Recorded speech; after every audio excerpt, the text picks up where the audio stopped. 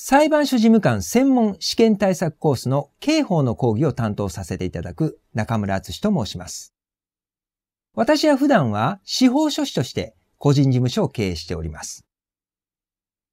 刑法という法律は他のどの法律よりも学説の対立が激しく、一見すると難解に思えます。試験でも学説の対立に関する問題は多く出題されます。ですけれども、じっくり考えて重要論点を理解すれば、比較的容易に得点に結びつく科目であると言えます。試験勉強というのは、結局のところはいろいろなことを覚えるということなのですが、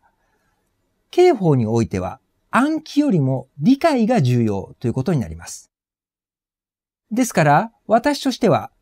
皆さんに頭の体操をするつもりで学習に取り組んでいただけるよう講義を進めたいと思っております。皆さん、ぜひ一緒に頑張りましょう。